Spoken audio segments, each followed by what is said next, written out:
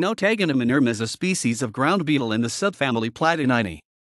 It was described by Andrewes in 1937. References equals equals